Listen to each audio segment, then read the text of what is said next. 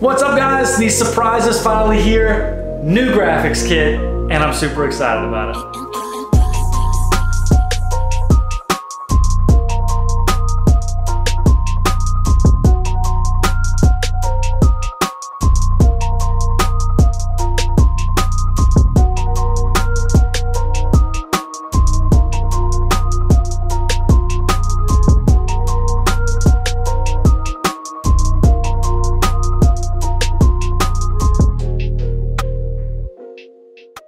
So first off, I wanted to give a huge shout out to Dingerbuilt himself. Uh, he doesn't want me to make this like a whole promotional thing about Dingerbuilt and all that, but he's an awesome guy. I've actually been online playing with him on the sim racer stuff. If you guys have seen the video, I made the whole sim racer and uh, you know, I basically play online and race and stuff like that. It's a lot of fun. He has the same sort of thing and we were playing on there and through that, he's like, hey man, I'm coming out with the graphics kit. Are you interested? And to that, I was like, hell yeah. Now a couple weeks ago I came out with a video where Kevin was helping me and we were actually putting on some fresh plastics, kind of getting prepared for all this. I wanted some fresh plastics that weren't marked up and that weren't yellow, so that way these would stick really well and obviously yellow being with the whole blue thing. No, no. So when I got the graphics kit in, I thought it was gonna be super easy. I thought I'd be able to throw it on and it'd basically be a big sticker, but it's not, it's a graphics kit. It's a little bit more time consuming and it takes a lot more patience than that. And I didn't realize that at first. So Kevin ended up coming over and me and him were gonna throw the graphics kit on and be done with it.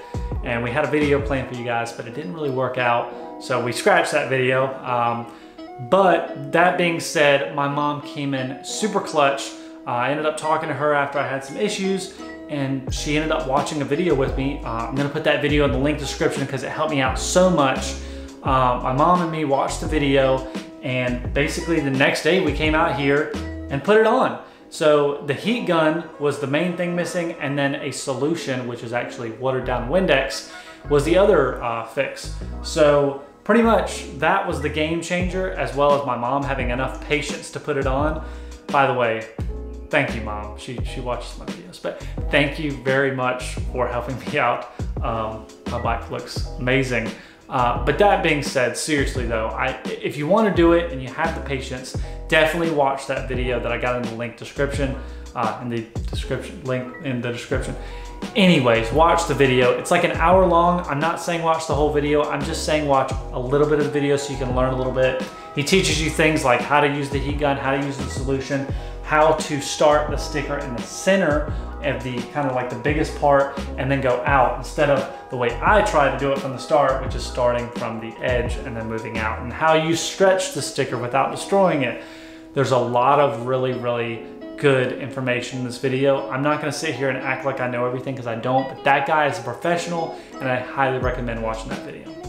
Anyways, guys, that's gonna be it for this video. It's just a really short video letting you guys know what the surprise was that I got a new livery, that I'm super excited about it. I've wrote it a little bit and I've got so many people that are already being like, dude, that looks awesome. So super thankful to Dingerbuilt, to my mom helping me put it on, Kevin trying to help me put it on, and just overall, just I'm super excited. So definitely make sure to subscribe for new videos. Uh, stuff is coming out soon and I'm gonna be riding a lot. I'm super excited. Summer is coming and this coronavirus is hopefully going away. So Hope we see you guys in the future and thanks guys for watching. See you guys next time.